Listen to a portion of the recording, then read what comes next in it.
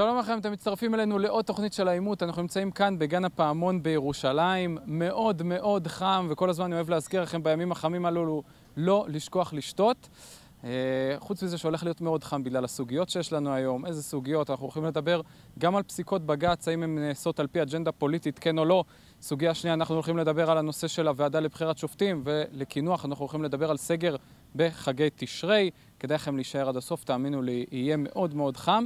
אה, בואו נכיר אבל את האורחים הראשונים שלנו לסוגיה הראשונה, האם בית המשפט העליון פוסק על פי אג'נדה פוליטית, כן או לא? כולנו ראינו בימים האחרונים את כל הנושא של אותן פסיקות שנויות במחלוקת, הפינוי של מצפה כרמים, אי הריסתו של, אה, של בית המחבל אה, הארור שרצח את עמית בן יגאל, זיכרונו לברכה, ועוד פסיקות אחרות שנויות במחלוקת. בואו נראה מה יש לאורחים שלנו להגיד. שלום לך יהודה. אהלן, מה נשמע? בסדר גמור. בוא טיפה תס, תסביר תסביר לצופים איפה אתה מגיע אלינו, למי שלא מכיר. אהלן, אז אני יהודה אריה שרבני, ירושלמי, עובד uh, כרכז השטח של תנועת אם תרצו, מגיע מפה קרוב, כמה רחובות ליד, עדיין חם. גילוי נאות, אנחנו מכירים גם נכון. לפני, uh, לפני שידורי התוכנית, שמח שבאת והתארחת אצלנו. ושלום לך רז. אהלן, מה קורה? בסדר גמור, תודה שגם אתה הגעת, גם אתה היית אצלנו פעם אחת uh, בתוכנית, בוא גם אתה תציג את עצמך למי שלא מכיר.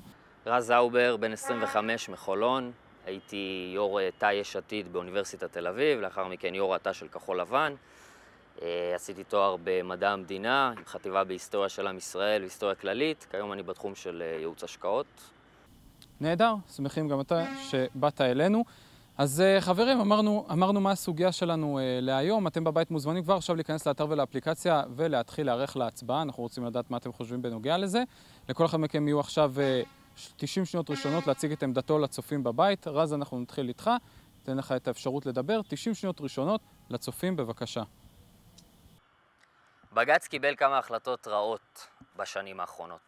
הוא הכניס את היבה יזבק, תומכת הטרור, לכנסת, אפשר את הכניסה שלה. הוא מנע את ההריסה של בית המחבל, יימח שמו שרצח את החייל עמית בן יגאל ז"ל. החלטות שבג"ץ לא קיבל זה להעביר מיליונים לחמאס. לא להכיל ריבונות אה, ביהודה ושומרון, לא לפנות את ח'אן אל-אחמר, ההפך, הוא קבע שצריך לפנות את ח'אן אל-אחמר. לפוליטיקאים שלנו זה הכי קל שיש איזשהו דמון כזה שאפשר לטפול בו ולהאשים אותו בכל החולאים שיש במדינה. אנחנו צריכים להיות יותר חכמים מזה. להטיל את האחריות בפוליטיקאים. כשבג"ץ החליט אה, שהוא מאפשר לישראל אלדד, מהימין הקיצוני במונחים של אז, אה, להמשיך וללמד, ומהצד השני של המפה הפוליטית, שהוא אפשר אה, לעיתון כל העם הקומוניסטי להמשיך ולצאת לאור, למרות התנגדות של בן גוריון שהיה אז בשיא כוחו, באיזה צד פוליטי הוא היה? כנראה שהוא היה בצד של האמת. הבנתי אותך רז, קצר וקולע, אנחנו מיד נשוב אליך להמשך הדברים. יהודה, אותו הדבר, 90 שניות ראשונות לפנות לצופים, להסביר את עמדתך, בבקשה. כן, צופים יקרים, אז אני אשמח לפתוח בציטוט של דוקטור גדי טאוב. רצינו בית משפט שהכל בו שפיט, בסוף קיבלנו בית משפט שהכל בו פוליטי. ואני אסביר, בשנים האחרונות חלה הידרדרות אה, בפסיקות של בית המשפט העליון. הוא פוסק פסיקות שנויות במחלוקת, שהן פעם אחר פעם הן נראות והן ממש פסיקות שהן פוליטיות נגד אה, צד אחד שבמפה והן מטיבות לצד השני של המפה השנייה. כמובן, מי שלא רואה את ההבדלים האלה ומי שלא רואה את ההגבלות בין הפסיקות השנויות במחלוקת, אני לא יודע מהו, אם הוא לא שיכור, באמת, סליחה על הזה. אני, לאחר מכן אני גם אשמח להציג לכם ארבע דוגמאות שאני הכנתי, שמראות את ההגבלה בין צדדים שבית המשפט העליון פסק לטובתם, ובאותן סיטואציות שהיו לאחר מכן בצד הימני של המפה, בית המשפט העליון פסק בדיוק ההפך, פסיקות שמראות את הפוליטיקה שקיימת בבית המשפט העליון. תודה לך יהודה, גם לך אני מיד אחזור. אתם בבית, אנחנו רוצים כבר עכשיו לשמוע מי משכנע אתכם יותר, עם איזה דעה אתם מסכימים. תכתבו לנו כבר עכשיו בתגובות מה דעתכם בנוגע לבית המשפט העליון ולפסיקות האחרונות שלו. האורחים שלנו מאוד במתח רוצים לדעת מה אתם חושבים. אני רוצה להתחיל איתך, או יותר נכון לשוב אליך, רז. תשמע, אתה אומר שמאוד נוח להפיל דברים על בית, על בית המשפט העליון, אבל אתה יודע, נוצרה איזושהי אווירה במדינת ישראל, או בתקשורת הממוסדת, נקרא לזה ככה, ששופטי בית המשפט העליון הם סוג של אה, מלאכים טהורים. כל החלטה שהם מקבלים זו איזושהי החלטה שבעצם אה, לא נגועה בשום שיקולים זרים, בשום אג'נדה פוליטית. אבל בינינו, אנחנו יודעים קצת יותר טוב, אלו בני אדם, יש להם את האג'נדות הפוליטיות שלהם, ובסופו של דבר אנחנו רואים הרבה מאוד פעמים, לפחות אה, מנקודת המבט שלי, הקטן, שי, שאני רואה יחס שונה ל, ל, לימין, לשמאל, לחרדים, חילונים. איך אפשר לומר שהם לא נגועים באג'נדה פוליטית? אז קודם כל, חשוב לי להגיד שחשוב שהדיון הזה מתקיים, לא מדובר בבני אלים, חשוב שהם יהיו תחת זכוכית מגדלת. ולשאלה האם זה פוליטי. כרגע הימין נמצא בשלטון 13 שנה. הוא צריך לפעול במסגרת החוק. לכן זה, אה, יש את התחושה הזאת שכשהוא אה, מקבל איזושהי החלטה והוא מתנגש בבג"ץ, זה מגיע רק כלפיו. אם היה שלטון, אה, שלטון השמאל, כמו רבין למשל, שבג"ץ, שאמר בלי בג"ץ ובלי בצלם, אז הדברים היו נראים לכלל האוכלוסייה קצת אחרת. חשוב לנו לזכור ששלטון זה לא רק מן המאה השלטון. צריך גם להבין שאנחנו פועלים באיזושהי מסגרת שהיא חוקתית. במדינת ישראל אין חוקה, זו המסגרת, בג"ץ, זו המסגרת שאמורה לדאוג לכך שנפעל בתוך איזושהי מסגרת מובנית. האם בית המשפט העליון צריך להיות זה שבעצם אה, בונה לנו איזושהי חוקה שעדיין לא, לא, לא נכתבה במדינת ישראל? כל עוד יש את הוואקום הזה, מישהו צריך למלא את זה. אין לי ספק שמדינת ישראל צריכה ללכת אה, לתהליך של יצירת חוקה. זה שזה לא קרה עד עכשיו, זה מוביל בהחלט למקרים כאלה. אנחנו כן צריכים ללכת לחוקה, אבל כרגע מי שמסדיר לך את המסגרת החוקית במדינת ישראל זה בג"ץ. הבנתי אותך, הבנתי אותך, רז. ואתה צריך לפעול במסגרת החוק. אין מה לעשות, אתה בשלטון כל כך הרבה שנים. הדברים אכן, הדברים אכן ברורים, ויהודה, אני ראיתי שכבר אתה רצית להתחיל ולענות. בדיוק, אני אגיד לך למה זה לא כל כך ברור. בית המשפט העליון לוקח חוקי יסוד והופך אותם בעצם לחוקה. איך אתה יודע שבית המשפט העליון הוא פוליטי? ברגע שהכנסת חוקקה את חוק הלאום, שהוא אחד מאבני יסוד של, של חוקי היסוד, בית המשפט העליון התחיל לחשוב האם לבטל אותו או לא לבטל אותו. מה זה אומר? שבית המשפט העליון לא מכבד את החוקה שכביכול נוצרה פה בתוך הוואקום הזה.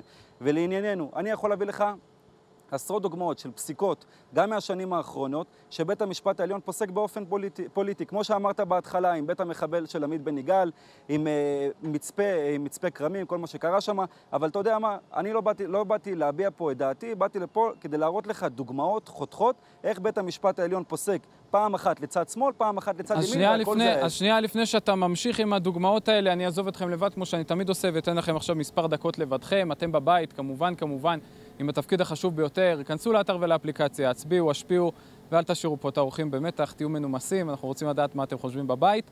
ואל תשכחו גם לשתות הרבה, זה כמובן מאוד מאוד חשוב. אז רבותיי, הבמה שלכם, בבקשה. אז אני אשמח להציג לך את השתי דוגמאות ממש בקצרה, נתחיל אה, מאיתם. שנת 93, יש פה הפגנות בירושלים נגד הסכמי אוסלו. מפגינים מגיעים, מפגינים מול הבית של אה, בית ראש הממשלה, יצחק רבין, זיכרונו לברכה, ובית המשפט העליון פוסק שאסור, שמותר להפגין בין השעות 5 ל-9, ולאחר מכן הזכות לשקט של התושבים של הסביבה צריכה להיות קיימת, ולכן צריך לאסור את ההפגנות. דוגמה נוספת, שנת 2005, יש פה התנתקות. הממשלה רוצה לעקור אלפי מתיישבים מתוך גוש קטיף. מגיעה משטרת ישראל בגיבוי בית המשפט העליון ועוצרים מפגינים שנמצאים באוטובוסים.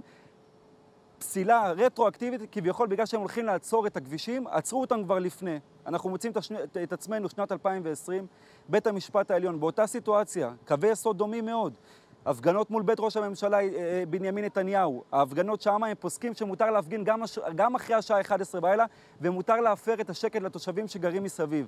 עוד פסיקה שנויה במחלוקת, שהם מתירים למפגינים לעצור את הכבישים. איפה, נדמה, איפה נשמע כדבר כזה? זה הגבלות אני... שמציגות את הפוליטיזציה שקיימת בבית המשפט העליון. קודם כל אני נגד שנלך לוואטאבאוטיזם הזה שלפעמים אוהבים ללכת אליו, של מה היה. זה, זה עובדות. זה שאנחנו, חד משמעית, אבל זה שאנחנו מתקדמים היום לדמוקרטיה אה, ובית המשפט נותן יותר זכויות למפגינים, זה לדעתי דבר שהוא מבורך. תראה, הלוואי אם בית המשפט העליון היה נותן את אותן זכויות אין למפגינים. אין לי ספק שאם יהיה ראש ממשלה מהשמאל, הם לא יגידו, בעתיד, הם לא יגידו עכשיו אי אפשר להפגין בשעות האלה. זה לא, לא אתה יודע מה, אין בעיה, אני אתן לך דוגמה. אני אתן לך דוגמה על נתיב האבות למשל, שפינו את אה, נתיב האבות לא, לפני כמה שנים, לא מזמן. בית המשפט נתן זמן למדינה להכיל את החוק שם. נתן לממשלת הימין, לראש הממשלה בנימין נתניהו. כש, כשאתה אמרת לא בהתחלה לא שהוא מאיים לא לבטל, קרה. כשבית המשפט העליון מאיים לבטל את הריבונות. זה התירוץ המושלם לאוזלת יד זה... של ממשלה שבוחרת לא לבצע, יש תמיד את הדמון הזה, בג"ץ אשם. שאתה תפנה לישראל ישראלי והוא יגיד לך, אה, בואנה, למה אה, אה, ראש הממשלה מהימין מתנהג בצורה כזאת אה, יונית? הוא יגיד לך, כי, כי שוטפים לנו את הראש בזה שבג"ץ הוא איזה סניף של מרץ שלא נותן להם לעבוד. חבר מביא חבר, זה, אתה יודע, זה מציאות... יש תיקונים, צריכים מציאות, לתקן. אני אתן לך צריכים- אני אתן לך דוגמה, צריכים לתקן חד כתבה משמעית. ביום שישי האחרון שכתב העיתונאי קלמן ליבסקין על ההטיה הפוליטית של בית המשפט העליון. פסק להרוס את מצפה כרמים, יישוב שהמדינה המדינה שלחה לשם מתיישבים להתיישב שם.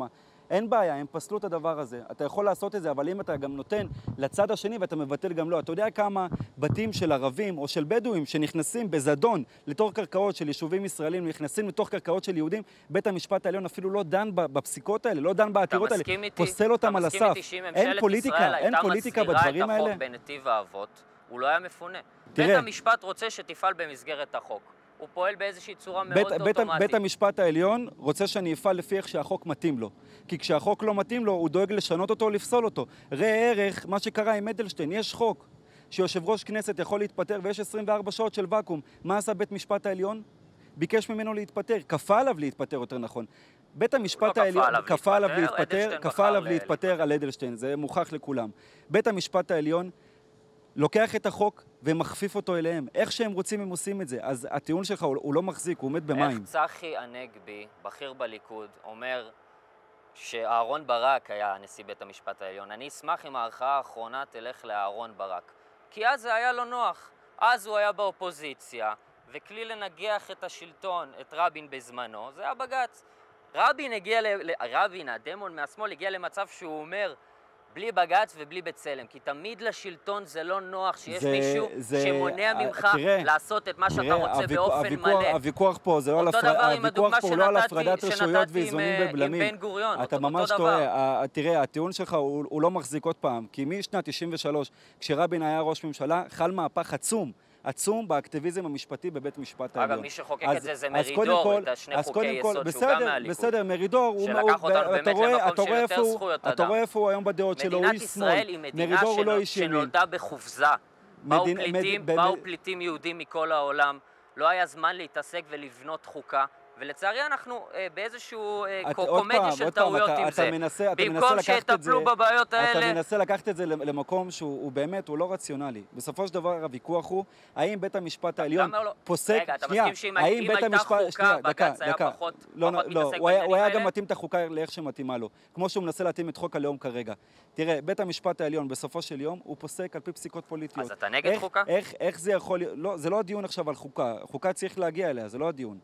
מה שבאתי להגיד לך על, על חוקה, שבית המשפט העליון מתאים לו את הדברים איך שהם יתאימו לו, כמו חוק הלאום, שהוא חוק יסוד, ובחוק זכויות אדם הם לא יבטלו אותו.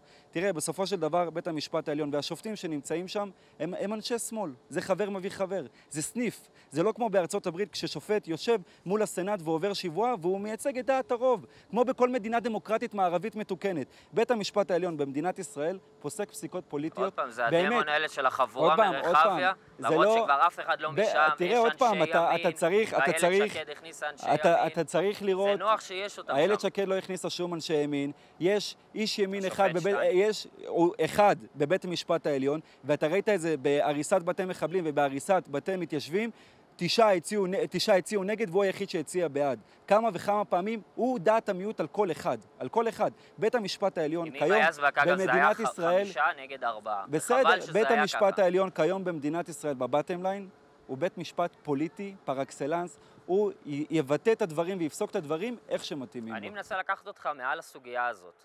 להגיד רבותיי, רבותיי, לפני, לפני שאתם ממשיכים, באמת שזמננו כמעט ותם, לצערי הרב גם לא יהיה לי זמן אפילו לשאול אתכם שאלות, באמת הדיון מרתק, רציתי לתת לכם כמה שיותר זמן. אתם בבית, רק אני מזכיר לכם, יש לכם באמת עוד דקה אחרונה להצביע, להשפיע, וגם אנחנו רואים את התגובות שלכם עד עכשיו, באמת תגובות מרתקות, תמשיכו להגיב, תמשיכו לכתוב מה אתם חושבים. אני אתן לכל אחד מכם עכשיו 30 שניות אחרונות לסכם את דבריו ולצופים בבית, ובכך נסיים. אז רז, אני מתחיל איתך שוב, 30 שניות אחרונות בהחלט לסכם את עצמך, בבקשה.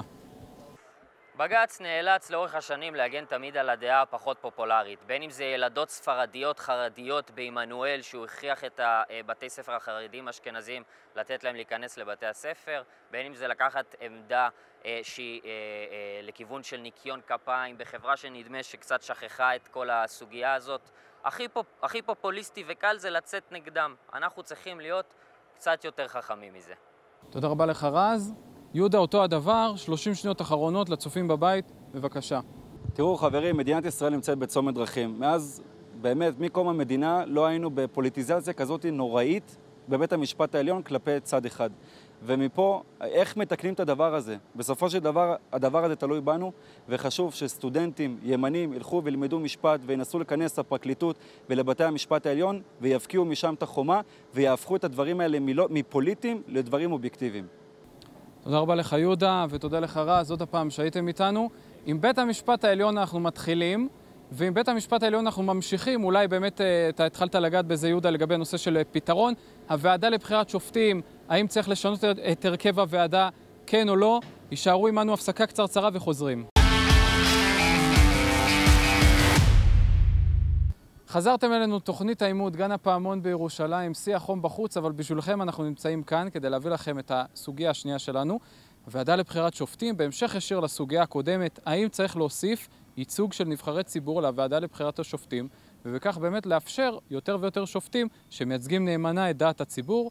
נמצאים איתנו שני אורחים, אחד בעד, אחד נגד, כרגיל, שינסו לשכנע אתכם. אנחנו מזמינים אתכם כבר עכשיו להיכנס לאתר ולאפליקציה ולהיערך להצבעה.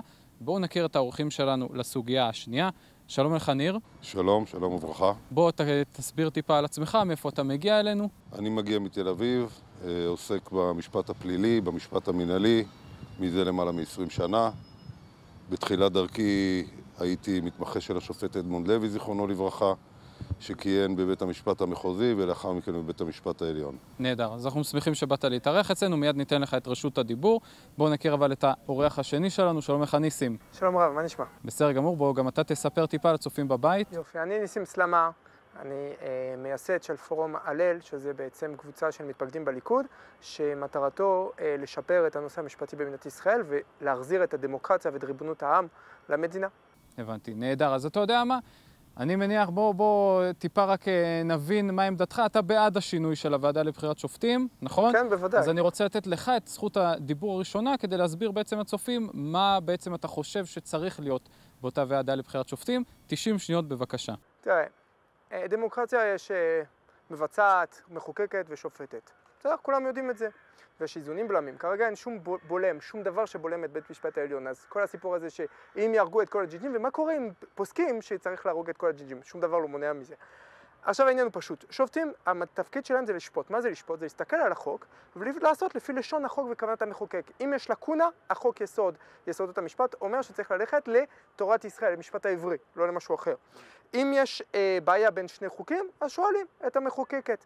מה שאסור לעשות זה לעשות אה, פרשנויות שהן הפוכות מהחוק. אם החוק אומר שאסור למס... לשר הפנים להכניס פעילת BDS, הם לא יכולים לבוא ולהגיד חייב להכניס.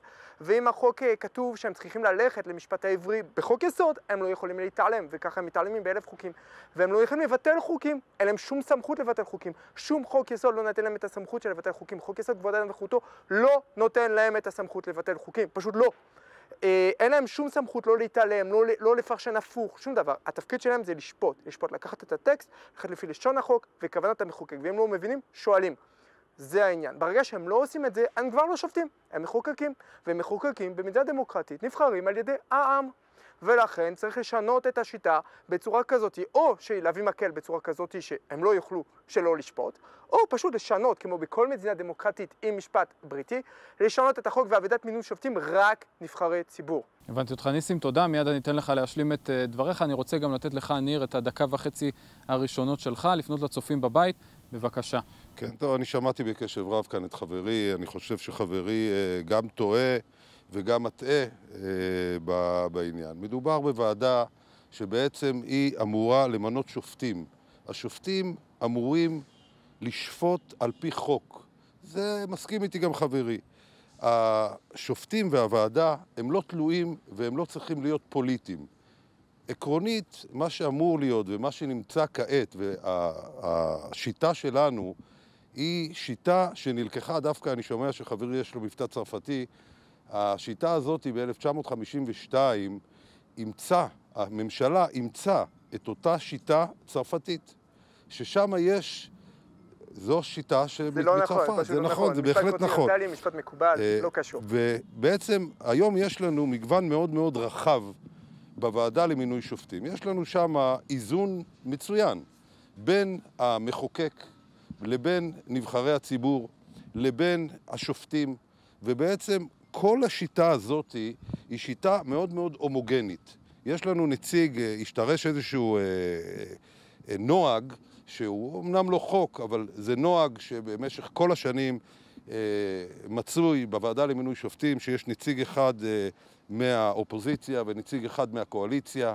יש שם אה, נבחרים מלשכת עורכי הדין, יש נבחרים אה, של אה, בית המשפט העליון, ניר, ניר, והשיטה תם הזו- זמנך, תם זמנך לצערי. השיטה הזו לטעמי היא שיטה מצוינת, שנותנת לשופטים שלנו לשפוט. כן, אז אני רוצה ממש להמשיך בהמשך ישיר לדברים שאתה אומר עם השאלה הראשונה. בכל זאת אתה שומע מה ניסים אומר כאן.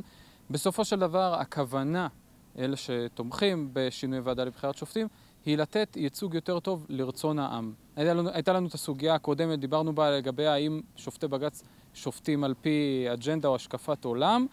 אה, ובאמת יש אה, ראייה כזו בציבור הרחב. מה הבעיה בעצם שנבחרי הציבור הם אלו שיבחרו אה, את, את השופטים? הרי אנחנו, כנראה, כנראה שאם ניתן לה, גם לפוליטיקאים, שהרבה מאוד אנשים לא, לא כל כך אולי סומכים עליהם, כנראה שהם לא יבחרו סתם איזה אדם מהרחוב שיהיה שופט בבית המשפט, יבחרו אנשי מקצוע. אז תן להם שיבחרו אנשים עם השקפת עולם דומה אני ל... ל- סבור שזאתי פוליטיזציה של מערכת המשפט.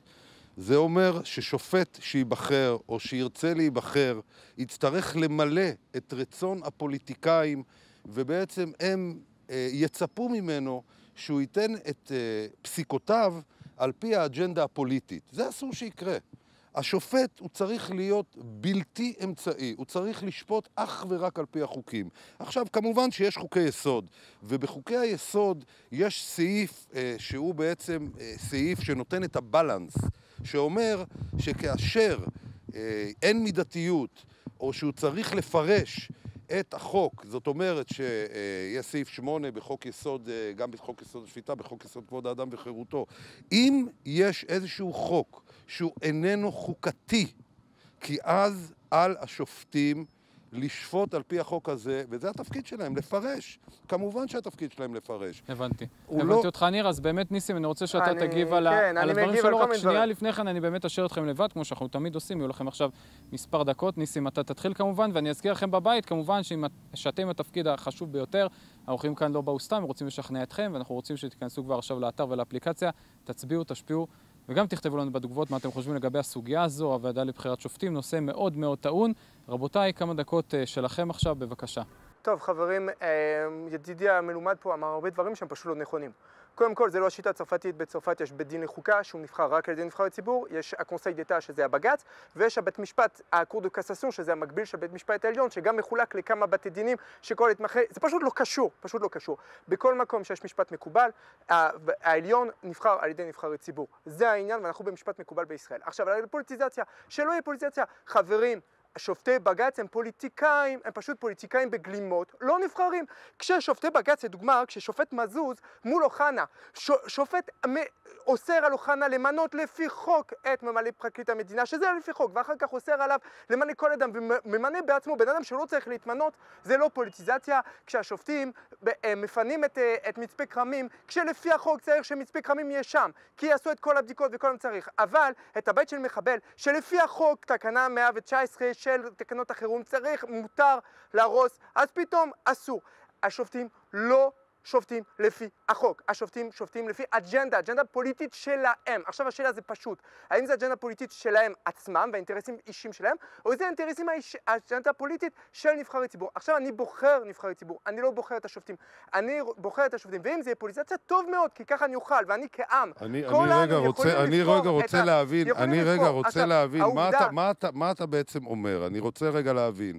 האם אתה רוצה שהשופטים ימו, ימונו מינוי פוליטי? כן. האם הפוליטיקאים הם אלה, ואז הם בעצם כן, יצטרכו כן, לשפוט? הם רגע, כבר אבל רק שנייה. אתה אומר האם הפוליטיקאים, לא, השופטים מה הם שאתה, פוליטיקאים. תראה, מה שאתה לא מציע, לפי החוק, מה הם שאתה. מציע היום. לעשות, מה שאתה מציע לעשות, אתה בעצם אומר, בוא ניתן לפוליטיקאים למנות את השופטים. אבל זה מה שקורה. לא, זה ממש לא זה מה מה שקורה. שקורה. השופטים הם רגע, פוליטיקאים. אתה מכיר, אתה מכיר, שממנים הם אתה, אתה מכיר, אתה מכיר את ההרכב בוועדה למינוי אני שופטים. מכיר, וזה פוליטיקאים. השופטים שבוועדת מינוי, הנשיא בית משפט העליון, אסתר חיות היא פוליטיקאית. אם אתה, תצעק, זה לא יעשה אותך לצודק. השופט עמית הוא פוליטיקאי. זה שאני צועק פשוט, אני- זה מאוד לא, חשוב לא, לי, כי לא. אתה יודע, דמוקרטיה גם לי זה חשוב, אבל תראה, גם לי זה חשוב.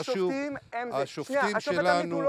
השופטים שלנו? השופטים שלנו הם הטובים בשופטי, בשופטי כל המדינות. השופטים הם- שלנו גרועים, הש- הפסקי דין שלהם גרועים, הם, הם כתובים אתה, כמו תראה, ילדים בני חמש. אתה אתה יכול מזלזל, לקרוא את אתה הפסקי דין של. הברית ושל ישראל, תראה, כשאתה אני- אני עורך דין מזה שנים רבים, אני- אתה אני עורך דין- אני עורך דין מזה שנים רבות. שהשופט תמיד אתה, מתעלם, אתה, אתה פוליטיקאי, אתה, אף אחד לא מתעלם מכלום. מתעלם מתשובה של המדינה. התשובה, המדינה עונה לו בקטע המדיני, שאסור להכניס אתה, אנשים לתוך אתה, טקס אתה אלטרנטיבי. אבל הוא אומר, לא, זה אז הסיבות אתה הביטחוניות. רוצה, מה אתה רוצה, שהפוליטיקאים יכתיבו לשופטים איך איך לפסוק? השופטים הם פוליטיקאים. אתה רוצה שהפוליטיקאים הפוליטיק- יכתיבו? כן, זה החוק, ככה זה פוליטיקאי, עובד. ואתה... לא, השופטים. הש... אה, תראה, יש נציגי ציבור, הרי יש נציגי, יש את הוועדה למינוי שופטים, יש שם עורכי דין.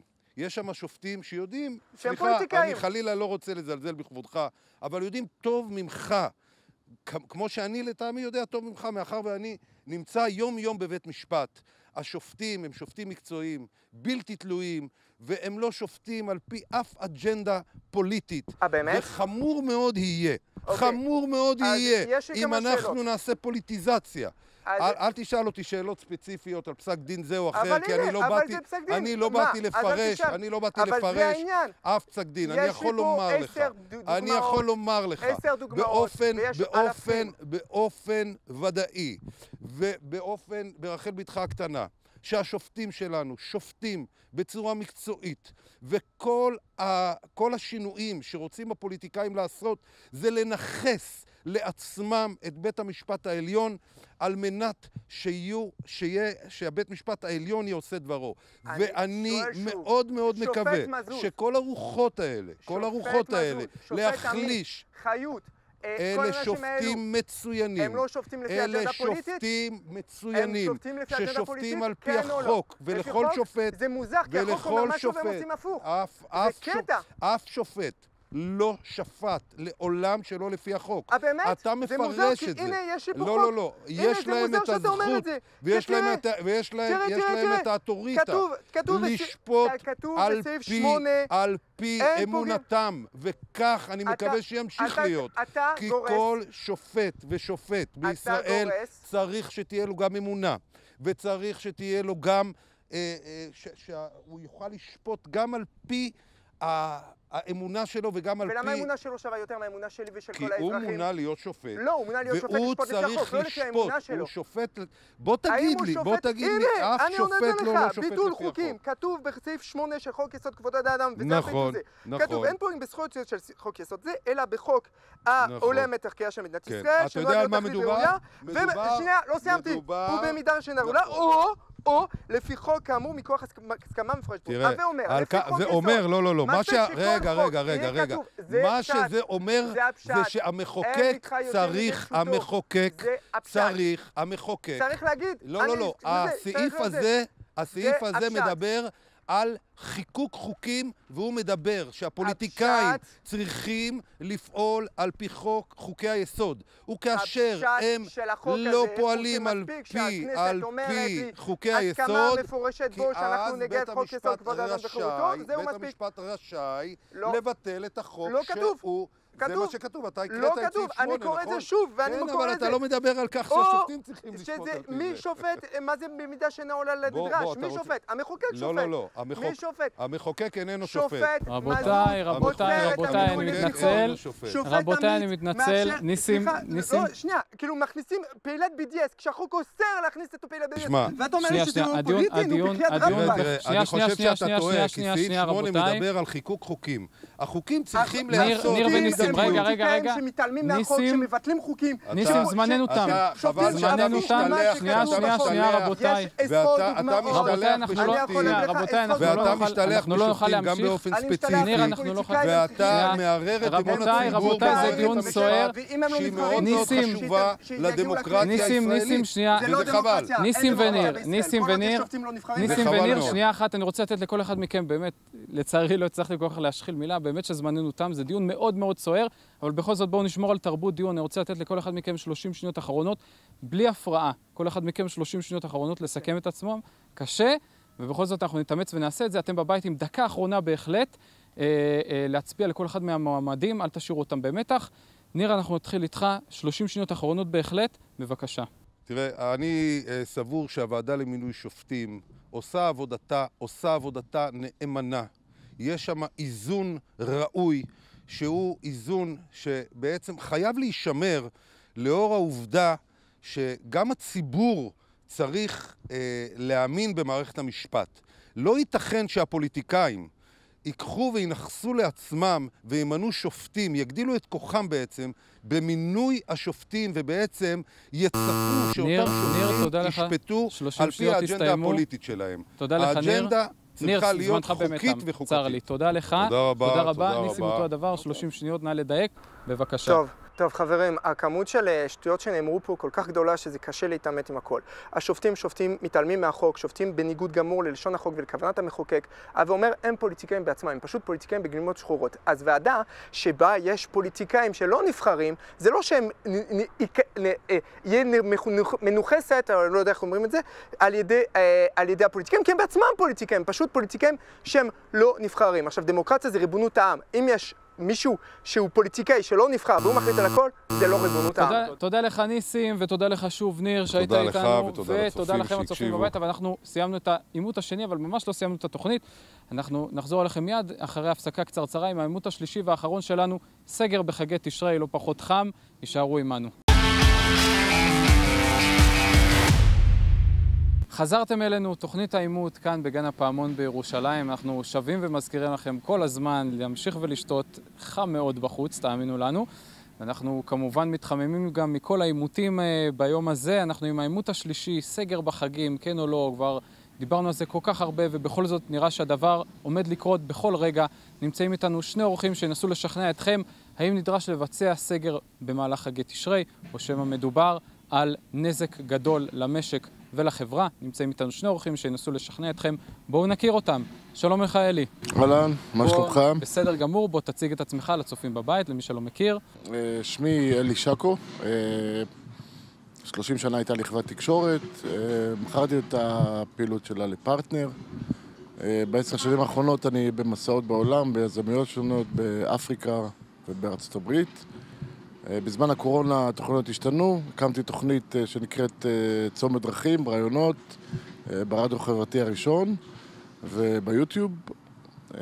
תוכנית שבעצם נותנת אור ותקווה לאנשים לצמוח ממקומות קשים בחייהם. שווה לכם לצפות. נהדר, נהדר, אלי, תודה לך. מיד נשוב אליך בנוגע לסוגיה של הסגר אה, בחגים. שלום לך, מוטי. שלום שי, שלום אלי. בוא תציג את עצמך גם לצופים בבית, למי שלא מכיר, במה אתה עוסק. מוטי זליקוביץ', מנכ"ל עמותת יד תמר לחולי סרטן ומצבים משבריים. אה, עוסק בנושא של עזרה לזולת כבר כמעט 40 שנה בתחומים שונים, וזה הכיף של החיים שלי. נהדר, מוטי, זה קודם כל, כל הכבוד על העשייה. אנחנו כמובן אה, מברכים אותך ואת העמותה על העשייה הברוכה למען אה, חולים. אה, בוא ניתן לך לפתוח את דבריך עם 90 שניות ראשונות לפנות לצופים בבית ולהסביר את עמדתך בנוגע לסגר בחגים. בבקשה. אני עקרונית נגד סגר בחגים מנימוקים כאלה ואחרים, אפרט כמה מהם כרגע. הנושא הראשון זה נושא הבדידות. אני עוסק בחולי סרטן, אני עוסק בקשישים שנים רבות, והסגר הראשון גמר את כולם בצורה שלא מובנת לאנשים הרגילים ברחוב. צריך להבין, במדינת ישראל כל שנה מתאבדים כ-500 אנשים, רובם זקנים, רובם מבינים שלא צריכים אותם יותר בעולם הזה. והסגר הראשון כבר הביא לא מעט אנשים למצב הזה, סגר שני יביא עוד יותר למצב הזה. יש בעיה כלכלית בנוסף, יש בעיה שראשי משפחות נפגעו כלכלית וערכם גם במשפחה וגם בשכונה וגם בעיר שהם גרים ירד והם מגיעים לפת לחם וגם זה מביא לידי מצבים קשים, משבריים, שאנחנו בעמותה עוסקים גם בתחומים האלה. ולכן אני נגד הסגר. תודה לך, מוטי. מיד נשוב אליך גם להמשך הדברים. אלי, גם לך רשות הדיבור עכשיו. 90 שניות ראשונות לפנות לצופים. בבקשה.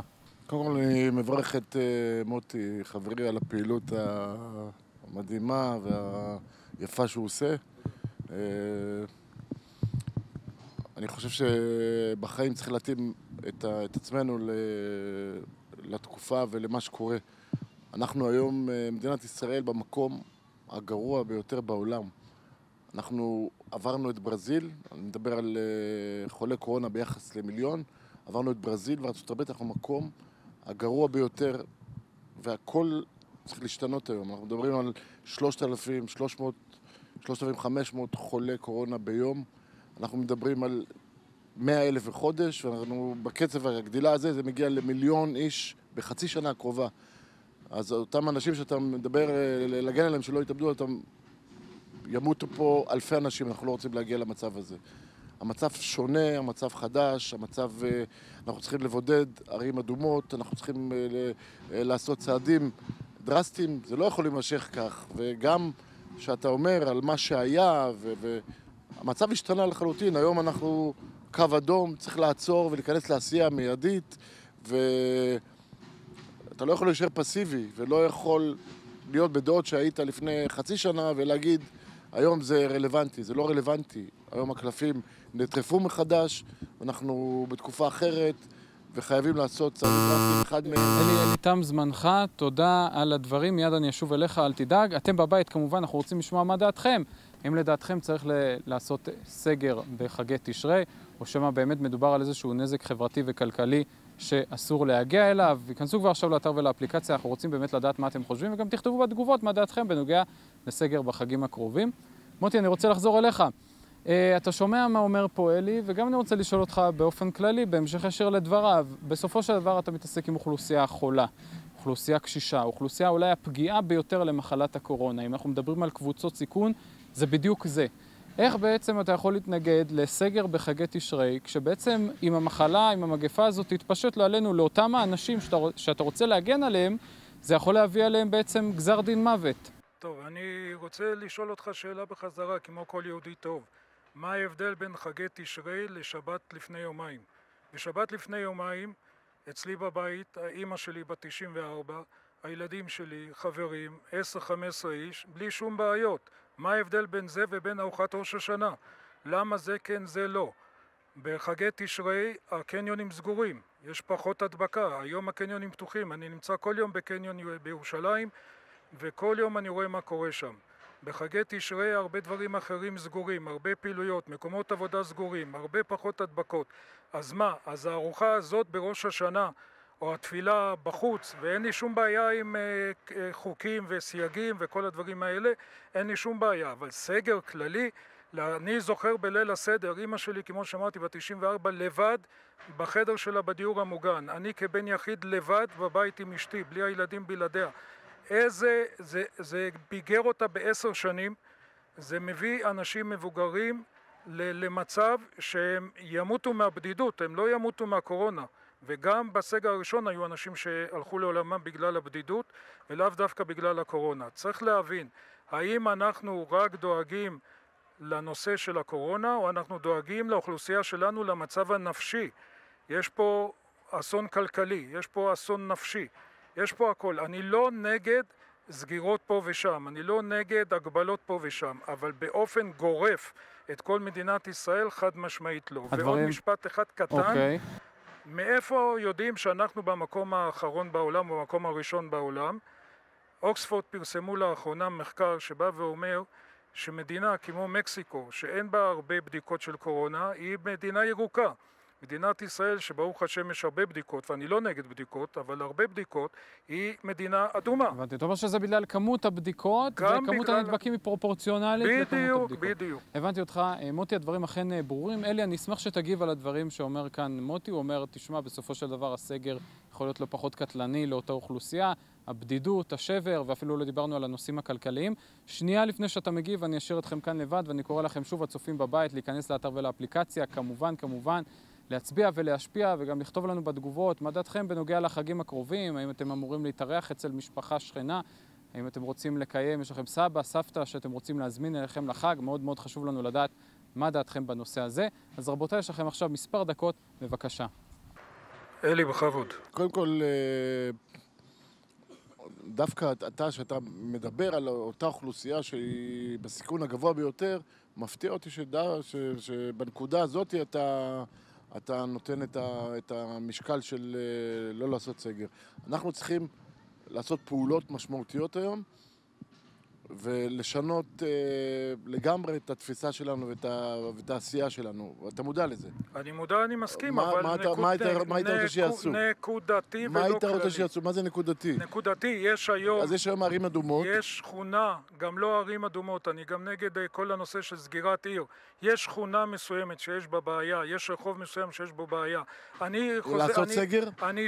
כן, לעשות אה, סגר, אז זאת אומרת, כתר, אתה לא משנה איך זה. אתה בעד סגר לא כללי, עוד פעם, אוקיי, יש הבדל. בעד סגר ל- אבל עוד דבר, אני אשאל אותך גם שאלה. היום עשינו סגר, בעוד שבוע פתחו אותו, מה יקרה?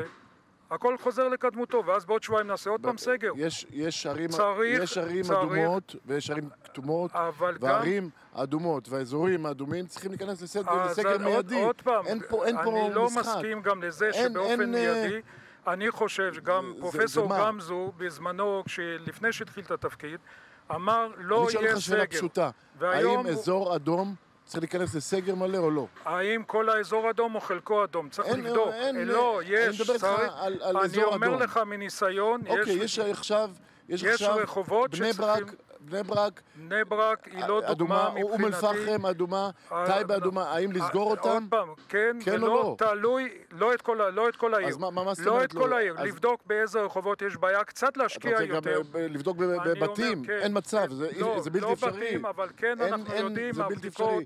מהבדיקות יודעים איזה רחובות אתה יותר אומר, אדומים. תעשו סגר באזור אדום, אני גם אומר אבל עוד דבר. תב- תבחרו אני בתור גם- אזור אני אדום. גם אומר עוד דבר, אני גם אומר זה עוד לא דבר, כדי אומר. להוריד את ההדבקה, בוא שהממשלה תיקח אלף אלפיים מובטלים שאין להם מה לעשות היום, תלמד אותם קורס אנחנו- מפורש של אנחנו- פיקוח, אבל- רגע, אבל אנחנו מדברים על ולהגדיל- מה- על משהו אחר עכשיו, אני שואל אותך ולהגדיל- שאלה ולא פשוטה. לעשות סגר, להגדיל את שאלה- הפיקוח, ולא לעשות ש- סגר. בסדר? לא סגר נקודה. אני שואל אותך שאלה פשוטה, סגר. אזור אדום, אזור אדום, אם- לסגור אותו או לא?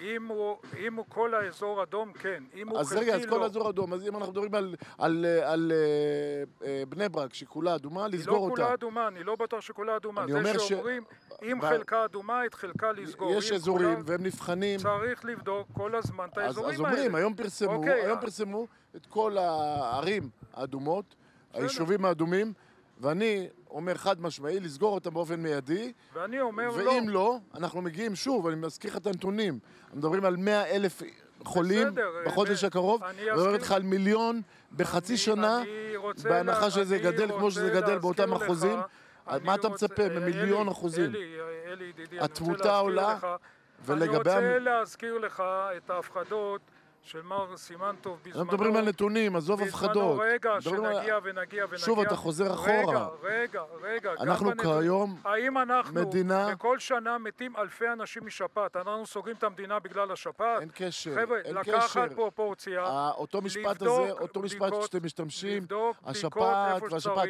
יש היום קורונה. יש ש- קורונה, ש- נכון, גם אוקיי, אני והקורונה מכיר יש את הקורונה, מתים. ויש לי עובדים שהם בקורונה, אוקיי, והכל ואם נכון. אנחנו מדברים על, על אה, קצב הדבקה כמו שהיום נמצא, מדברים על, שוב, אני גם- חוזר, אז פעם אומר, שלישית, אני מדבר איתך על מיליון, לא, אני מדבר איתך על מיליון גם חולים, לא מיליון חולים ים, בחצי שנה. גם לא האם הפגנות. מדינת ישראל יכולה אה, לעמוד בזה? רגע, אלי, גם לא הסקר הפגנות, יהיה שם הרבה לא חוף. ים, לא שום דבר, לא עסקים, לא בתי מלון, עוד מתאבדים בגלל שנפלו כלכלית, עוד מתאבדים כי הם לא שווים כלום לחברה, כי הם מבודדים, זקנים בני 80 בבית. לכן, לכן, כן, לכן כל זה, אני זה אומר... מה שאתה רוצה? לא, לכן, אני לא מוכן לכן, לזה. לכן אני רוצה לכן אני אומר... שהממשלה וגם זו, ואני אם- מוכן, אני אבל מצטער אתה שאני מדבר לא... ואתה לא נותן לדבר. ואני תן לי מצטער שאני לא בוועדה של הקורונה, כי הייתי ל- נותן ל- את הרעיונות. תן לי ברש- ברשותך להשחיל. משפט. אנחנו מדברים על, על אה, לעצור מצב, על מנת שלא יהיה סגר כלכלי אה, טוטאלי על כל המדינה, על מנת שלא נגיע למצב הזה, אנחנו ב- בדיוק בשביל זה צריכים עכשיו להגיב באופן מיידי, לעצור את הערים רגע, האדומות, אתה- לעשות סגר בערים האדומות, על מנת שלא אבל- יהיה מצב אלי, סגר כללי, אלי, ולא יהיה השבתת המדינה, אלי, אבל בקצב הזה זה הולך רק לכיוון של סגר כללי, לא אלי, ברירה. אלי, אבל מה שאתה בעצם אומר, בכל העולם, דרך אגב. אלי, מה שאתה לא בעצם שונים. אומר, בעצם מה שאתה אומר עכשיו למילים האחרונות, אני מבסוט, התקרבת אליי, לא סגר כללי, סגר נקודתי כדי למנוע סגר כללי. אני ערים גם אומר, אדומות. לא סגר ערים כללי, אדומות, אתה אומר אבל- לי שערים אדומות, אבל- אבל מה חלקן, שהתחלנו זה היה סגר באמצע, כללי, רחוב. סגר כללי בחגי תשרי, ואין שום סיבה בחגי תשרי לעשות סגר כללי. האם בחגי תשרי, בעיר מה אדומה? האם... לא עיר- בעיר אדומה, בכל הארץ. אז בעיר אדומה יש סגר- עיר אדומה, סגרים? אני לא מתווכח איתך. אתה אומר לי. חלק, נכון, צריך לבדוק. יכול להיות שבעיר אדומה הגדולה יש רחובות שלא צריך, יש רחובות שכן צריך, אבל עדיין לא סגר כללי, כי הנושא שהתחלנו בו זה סגר שכל- כללי רבותיי, תשרי. רבותיי, צר לי. אין הבדל בין חגי תשרי. לבין שבת צר לי, כמעט, האחרונה. כמעט תם הזמן. רבותיי, אני רוצה לתת לכל אחד מכם לסכם את דבריו ב-30 שניות אחרונות. קודם כל, אני שמח שהגעתם לאיזשהו סוג של עמק שווה בנוגע לערים אדומות, זה כבר משהו. אתם בבית, אני רק מזכיר לכם שיש לכם כמובן דקה אחרונה להצביע, להשפיע ולהכריע מי שכנע אתכם יותר. אה, מוטי, אנחנו נתחיל איתך, 30 שניות אחרונות בהחלט לסכם את דבריך לצופים בבית. בבקשה. אני נגד הסגר מסיבה, כמו שאמרתי בהתחלה, הבדידות של האנשים הקשישים, הבדידות של החולים, הבדידות של בני משפחה מבודדים שצריכים עזרה, כל זה אני נגד, אני בעד לעשות הרבה יותר חושבים לפני שעושים סגר כללי. יש מצב שאולי סגרים קטנים פה ושם, אבל לא סגר כללי, חד משמעית, זה יביא אותנו למצב נפשי, כלכלי, הרבה הרבה יותר גרוע ממה שהיינו עד היום. תודה רבה לך, מוטי. אלי, אותו הדבר, 30 שניות אחרונות בהחלט. בבקשה. אה, מפתיע אותי שחברי מדבר דווקא על אוכלוסייה שהיא בסכנה הגדולה ביותר, האוכלוסייה הבוגרת, שדווקא אותם הוא רוצה להשאיר חופשיים אה, לסכנת הידבקות, שהם בבעיה גדולה. אני חושב שאנחנו, זה לא חושב, עובדה, לא יהיו לנו אה, כמות נדבקים כזאת, לא יהיו לנו כמות חולים כזאת, ואנחנו צריכים לעצור עכשיו ולעשות אה, באופן מיידי פעולות אה, על מנת שלא יהיה. מלא. תודה, תם זמנך, צר לי, תודה שבאת והתארחת אצלנו, תודה גם לך, מוטי, שהיית איתנו. אה, ותודה לכם הצופים בבית, אנחנו סיימנו עוד תוכנית של העימות, אנחנו מזמינים אתכם להמשיך ולשלוח לנו תגובות, הערות, דברים לגבי העימותים שהיו היום, ואפילו עוד עימותים שהייתם רוצים להמשיך ולראות בעתיד. בינתיים אנחנו משאירים אתכם עד התוכנית הבאה, המשך צפייה מהנה, להתראות.